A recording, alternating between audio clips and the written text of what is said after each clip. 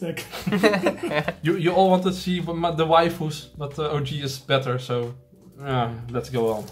Okay, so this was the intro for this video. Welcome to our channel. We are Team Crushing the Meta, Yeah. and we were talking about Gredora versus uh, the OG Darkface. yes. But today we're doing Gredora. Um, I asked you last weekend in the poll what you wanted to see. Susanoo with um, some interesting tech choices. But, uh, well, you didn't want to see that one. Um, I asked you about OG, the, the original Darkface. You guys didn't want to see that one, but you did want to see this girl. So let's let's focus on best girl today and uh, tell you about my Gredora deck. okay. I found my o- old Mega Colony deck uh, a while ago, so uh, I could have got it for a really good price, and now I have it back hmm with all the delicious SPs. Gredora is not even an SP. No, sad, sad not my best girl. so yeah, let's start the deck with His four best copies, girl uh, is the original Darkface.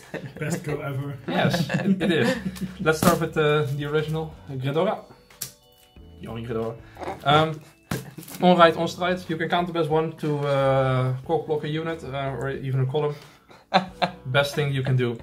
Um, the GB one uh, really helps with managing the counter blast efficiency of your deck. Mhm. So solid card, nothing to add up, nothing to add. Um, then to get the OTT, the OTK ready, three Antlions. I don't like missing him, so I bumped him up. And Mhm. because I don't have my OGs right now with me, the last card in the deck will be the alternate Dark Face.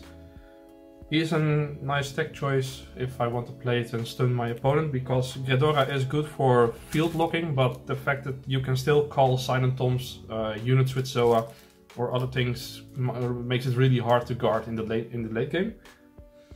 I hate the end. yeah, Endline was uh, pretty efficient today. Burn it. Mm, Maybe some copies I have left. so yeah, the grade 3 s- is only at 8 because I didn't find the need to bump it up or lower it. Um, but for the grade 2s there are some... If you will play the ninth one, which one would it be? Um, Or would you take out the Darkface and put two original Darkfaces? if I was playing the ninth one I would uh, refer this to the original Dark Face. Just so two extra. Yes. Just to have an advantage in the mirror matches or uh, uh, in the Oracle Think Tank matches, because the ability to stun a Tom when needed is really handy.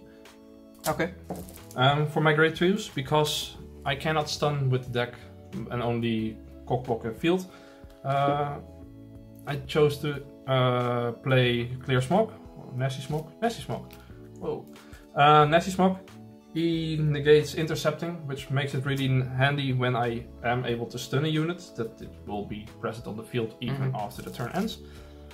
Uh, and he can stun a unit in the back row. Uh, I find it really handy because of the fact that, well, if you It's cannot, free. it's free. Um, but most importantly, if you cannot stand your booster, then you have to replace it. That already costs a card from the hand. Mhm. Only thing you have to watch out with is that you will not stun something like a Gemini because they can go into, into the soul for free and give the counter charge. Mhm. Um, then I play uh, Punishing Stack at four.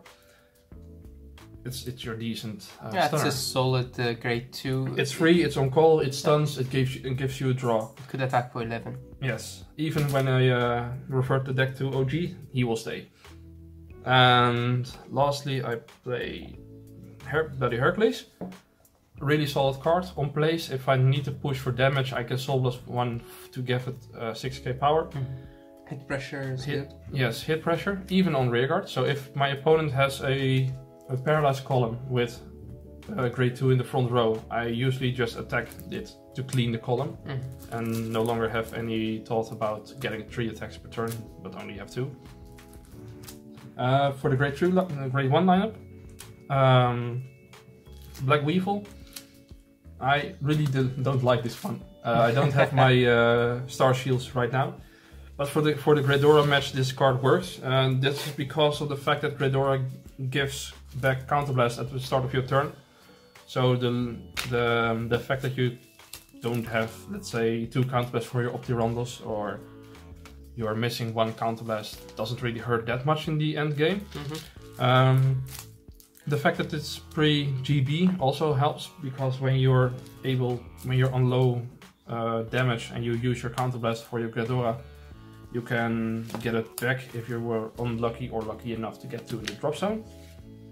Then I play three of the Falcon. Well, no, I'm gonna, not going to try it. My black boy. Um, I play three of him because of the fact that he cannot be retired by card effects. Mhm. Really handy, so he stays on the field. I can revert him to the soul for a counter charge. And he denies intercepting, so units that are paralyzed in the front row cannot give themselves up for the Vanguard. Makes it really handy. Um, three Phantom Blacks, MVP, Also burn it. maybe, maybe tomorrow. Burn all Um, ants. The fact that I don't use use him often, only when I have to play for uh. Endline. Yeah, I don't see the need why because the fact that you don't hit that higher high of numbers, um, blocking out normal units is not necessary until you go for the for the kill. Mhm. Three of the machining hornet. He fixes so much. If I don't have Gredora, I can fix it uh, if he hits. Most of the time, my ideal deal right target, but if I miss it, then well, so be it. Yeah, again, th- this card you can use it very smart because you don't have to.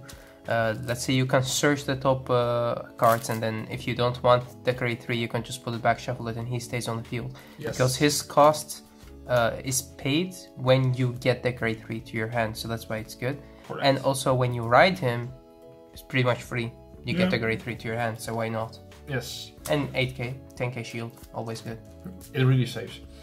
Um, then three stride folders. Mhm. I don't have my fourth one with me, but I wouldn't know what I would take out if I had had it.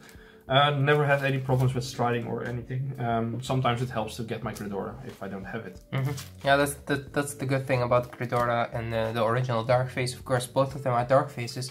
So if you play the 9 grade 3 version, you could still switch between uh, the Dark Faces, whatever you want to take, Yeah, the fact that. Gredora is an 11k makes it also really handy in the Giza matchup. So you can um, get ahead of your opponent just by searching it. Mhm. And for starters, nope. Um, and working end because getting a draw in the early game is really handy, and I don't see the need to change it because none of the other uh, starting vanguards of Mega Colony were Yeah, it- decent it- enough. it is so simple, but it works because you get the card as Chris already said in the early game. So let's say that you don't have the grade 2 that, that you need in your hand, you get it in the early game. And the, ju- just the extra draw is nice. Like you start your turn with six cards in hand is good. Why not? And the fact that when this will this will be an OG uh, Dark Face deck in the future, the fact that I don't need to put any efforts into returning my Grade Zero to the to the soul uh, works perfect. Yeah. So one for him. Then for the triggers, I decided to play five of the new triggers because 10k power is beast. Mhm. Uh, two of the machinings. Hey, machinings. Machine triggers, um, because the ability to stun the unit is really handy and he returns to the deck, which Mhm. makes it uh, a good option for late games if I need it. Um, I played two Sentinel uh, draw triggers because I want to have a split between the I I want to have a split between the Sentinels because when I'm facing Oracle Think Tank, I need to have my grade 1 PGs, otherwise I'll doomed. Fuck with the tier on just four draw triggers. no. Three of the stand triggers. The fact that he goes, that she goes into the soul, uh, gives me a power uh, counterblast and re, yeah, recycles my counterblast and stuns a unit. Perfect. Mhm. Nothing to add. And four of the new heal triggers because why not? Okay. So what are your thoughts about stand triggers in this deck? They come in clutch sometimes. Um, I don't really need them, but the fact that they can countercharge and go to the soul uh, makes it a nice addition to the deck. But this is more um, viable in the original build because of the fact that you need two soul blast for a stun. Mhm. I find I found out that this deck with Gredora doesn't have that much of soul of the soul issues. Um, so you could change this around for crit triggers just to add pressure, or add more draw triggers if you want to go to your deck even faster. Okay. Don't know why you want it, but hey, the options are there. Um, for the G zone, four of him because I like his art in SP. Um, only reason. Only, yeah, literally only reason. I really because don't the, see a reason why you should play him. Um, something that is interesting is something that I added in my Oracle Think Tank build. You can add more Create Elementals because Overwhelm flips something, and when you do that, you can get more counter charge till, till the end uh, at the end of your game by using this boy. Um, I'm not sure if I want to integrate this in, in the Gredora deck um, because of the fact that the deck is a bit slower than my Oracle deck and which means I need to bump up bump up this number uh, to make it more consistent. I think you definitely not play him in the original Dark Face because he eat up soul. Yes, but Uh, um, but in Gredora, it it's a is solid possible. it's Yeah. a solid choice for Gredora. if, Um, if you need the counterblast. yes, but most of the time I don't have that much of a counterblast issue due to the deck is Gredora pretty counter charges. much, uh, my balance. Uh, Ghid- Gredora counter charges. This one uh, counter charges when I hit, and most of the time they won't protect their rear guards. Mhm. He can counter charge at the beginning of my main phase. Some of my G guards have the counter charge ability, so there are plenty of uh, resource managements in this, in this deck. So this can be an option in the deck, um, not not right now without testing. Then I play two Optirondos because the fact that you can cock block the whole field is way too good. Uh, I don't need to use my stride skill for Gredora, so it's a uh, decent turn in Counterblast. And the fact that you cannot call Silent Toms, Seraph Dragons, Zoas, uh, Zoa units, uh, makes it a solid card in the deck. I Mhm. don't know if I want to bump it up to 3, but for now I don't. Then up next, I will play two Overwhelms. Same deal as before. It's really efficient card, gives you a lot of draw power when needed. Uh, if my opponent is generous enough to give me a lot of rear guards, then I'll draw three, four, sometimes five. Stick on two, boys. Stick on two. Yeah, I, I, I, You will really deck out the I moment did- you hit it. why why don't you play it like this? Three overwhelm and three Dark Face. That this is something that um, came in mind when I saw this. Um, because when I need to, whenever I'm forced into a third overwhelm, the game is already lost. I Okay. don't want the additional draws in the late game. I found out that most of the times when I hit the second one, the the yeah the, the odds were really against me. Uh, as player, as as a game preference, I would like to step step into Optirundus the next stride uh, to get to get the speed to my level because he really takes down the, the, the speed of the game and this one is just set up but if i'm if i have an opponent who's playing nova grapplers or something else i can add more cards to the hand by using her and then shut down the whole shut down the whole field from the moment i hit uh, merciless because they're unable to choose the units for effects costs and abilities only triggers will, will work um, and again, Spike Brothers, you cannot bind them with Agrias. You cannot choose them with Siegfried. Um, so I want to have a solid choice in in choosing my strides. And the fact that I can use him every turn and don't need to flip him makes it a good card. Okay. Um, then we play one GB8. He's way too good. The fact that I can get uh, with ease 30k on every unit, it's not always 30k because of Gredora's ability to cock block uh, columns, but yeah, in the old school build, this was a, a monster. Um, one Sea Breeze, not needed, but why not? Then for the G guards, double relish lady. I think this is something that stayed. Uh, that, that was something that was staying from a previous build. I really like the fact that I can, I can give my opponent the choice of resting, which is most of the time not really a choice because when you're uh, pushing the game in a certain direction, it's always um, Draw on a counter charge. Yes, and by doing that, I can force my um, count my G units in the G zone for my GB8 if I need it, um, and that's most of the times if my my first win condition fails. This is a bit of a more viable strategy in the original. Um, two of her because free shield value is always nice, and one of him or her. Don't judge. the, fact that she can be played at the first uh, Guardian um, makes it really handy because of the fact that she stuns the whole back row. So if my opponent is uh, attacking with the Vanguard first, I can shut down the rear guards. If my opponent is attacking with the Vanguard second, I can get more shield value out of it. And because she costs a counter blast, it's not an ideal option for the other deck, but in this deck you can generate your counter blast, uh, counter charge with the on right ability. Uh, no, the uh, right face ability. So it doesn't come, in, uh, it will not compromise the fact that you use it. Then the last one of, for Zoa, because she is, uh, it is best girl. Hmm. How does that work? Anyway, um, she is the win condition of the deck. It makes for really handy turns with um, end line, but you're kind of stalling until you can go Zoa uh, with this deck. Because the deck doesn't generate that much offensive pressure, so the only reason you can close games is just by the use of the GB8 or Zoa.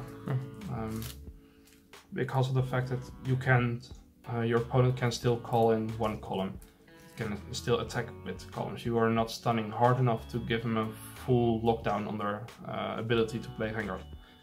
It's kind of like playing Exodia, but then in a different way. If you're playing, uh, you're stalling just in long enough for your win condition to be viable. So just works. don't get uh, deck out. Yeah, most of the times. Uh, no, I haven't been deck out with this deck yet. Yay.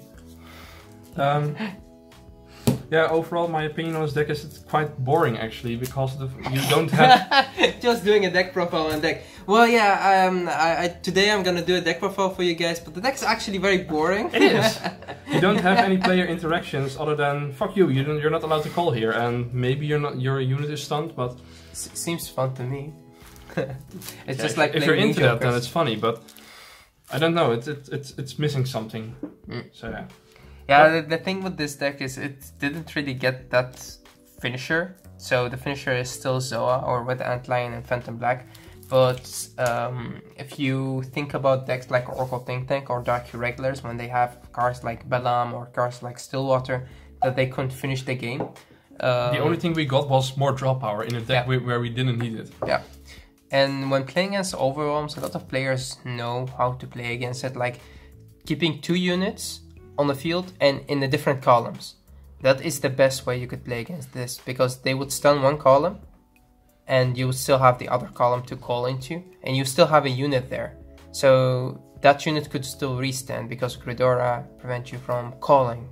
So you could play uh, very smart around this deck, but if you play the original Dark Face in this deck, uh, people don't really know how to react and play against that, and that, that that's the thing. You can fill up the soul pretty easy with a lot of deck choices that you have, uh, because before we didn't have that much cards that could fill up the soul, and now we have. So The fact that the new grade one goes into the soul and gives me a card in the hand uh, Mhm. makes it really Yeah, but also, uh, the uh, the little Dark Face that we got up uh, later it was this card. This card Yes. fixes a lot in the original Dark Face. These two are Yeah. really my core for the for the upcoming build. Yes. So I And think that's what, uh, some, what some people really forget is OG can stop Zoa. yeah, of course. It's non-targetable, non-targeting, Hmm. uh, non-choosing. It just plays rest. Mhm. And, uh, As long as you have the soul, uh, you will force your opponents to make mistakes actually, and that's when you could win a lot of your games. And then when they think, oh yeah, okay, then I have to wait one more turn. But if you go to Zoa, you can't wait one, more- one more turn because uh, you lose your G zone, and then sometimes you run out of still waters. So, and sometimes you can still uh, stun the Silent Toms that they cannot restand. So, it's really The only reason why you should rest a unit is when Silent enters. It, it is not that easy deck to play if you go to the original Dark Face. It's not like this deck, but that's what Chris meant. This deck is pretty boring because it could go The, in the plays are are already laid out. First try, go for uh, overwhelm. Second try, uh, get get Optirunners. If you're not at your win condition yet, go for your second one. Mhm. If you're at lowered cards, go for a second one. Mhm. If you Um, want to fuck your opponent up. Go for go for a first one, but you already have one or two face up. Yeah. Um, is nothing working? Go for him. But the fact that you can that he, negates auto abilities, which is magnificent in in, in some matches. Mhm. Um, but the fact that he, none of the none of the strides in the uh, Mega Colony G zone um, that are viable for Dark Face and yeah, mostly Dark Face don't stun. It's only an, a setup for later, and that makes the lack of a finisher makes the deck really dull because you are forced to use cards like this. Mhm. Um, that gives yeah little space uh, to work around because every card you play is for her. All right. So this was actually the deck that uh, we wanted to show you guys today for the uh. If you guys have a different build, then show it to us. we can Let us think know about how it. you find it. Yeah. And if you guys, as we said, want to know the OG build. the OG build and also some matches, we could do that as well because that's the more interesting build. And we will also see way more SPs because uh, we he, he actually bought this deck to make it to the original Dark Face. Yes, um, but I left my original Dark Faces at home today, so Okay. there are still four SP OGs at home and Star Shields because Star Shields work better in OG. Um, and I re- really, really, really had to work hard to get these four. This, those were they were not worth it actually. they were not worth it. No, the last one one. was a pain in the ass. The last one was really a pain in the ass. and that's Never shipped from Aust- Australia. and that's why you keep playing it at four. Yeah, that, that's because that's I want to tell myself it was worth it, and some voice in the back of my head is, "You're such a liar." that's basically what happens. Okay, so that's the reason. Mm-hmm. Yeah, Yeah. that's basically the reason. All right, guys, thanks for watching. Until See next you time. next in the, in the match. Bye bye. Bye.